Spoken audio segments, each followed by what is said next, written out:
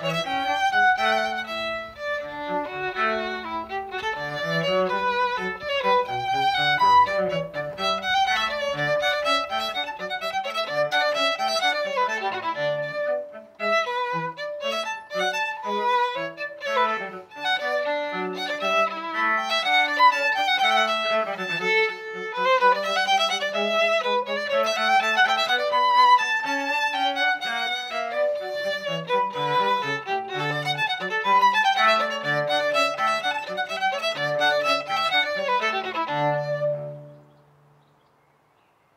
down and it's an enormous flood down there.